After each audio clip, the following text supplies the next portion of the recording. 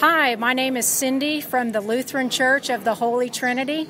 We are in Kailua Kona and we are at the Old Airport Events Pavilion here at the Kona Vision event. I'm the leader of the Heroes Ministry, which is our ministry to the homeless.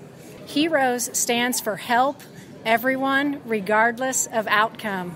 What we try to do is meet the homeless brothers and sisters where they are and um, greet them and just share uh, the blessings that we have that day from the Lord. Usually, the blessings consist of some food, cups of cold water, some first aid kits or hygiene kits, sometimes some laundry kits for them.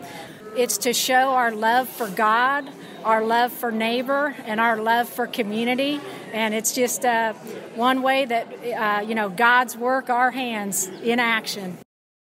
Hi, my name is Laurel, and I'm here with the Castro Lions Club from San Francisco and Grace Lutheran Church, also from San Francisco. And we are getting people uh, eye, eye exams and getting them eyeglasses. And it's a wonderful thing because getting eyeglasses opens up a whole new world to other opportunities like filling out forms and jobs and just seeing the world around you. And I'm very happy to be here in Hawaii.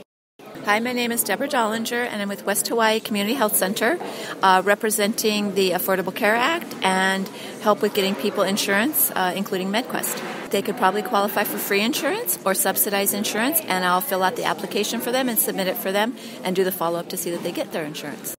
Hello, my name is Eloise Schaefer with uh, Holy Trinity Lutheran Church. Right now, uh, my friend Diana and I, we are just uh, manning the uh, giveaway table. And it's so wonderful that people donate all of these things, and the people that are taking them are so grateful. They're so very grateful and keep blessing us and uh, it's it's an honor to be here and to be able to do this. I'm really proud of my church and proud of the work that you all are doing. I can't imagine anything greater than helping someone with their sight. Richard Brum from the Kailua Kona Lions Club. I am serving for the homeless and uh, just helping out wherever I can.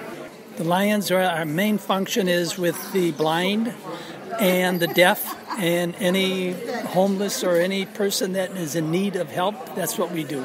We are there to serve. Hi, my name is Darlene Otis from St. Paul Lutheran Church in Clark, South Dakota.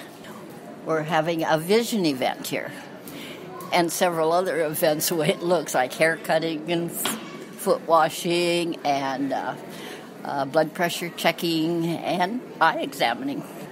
We're so fortunate that that uh, we have an event like this to help them because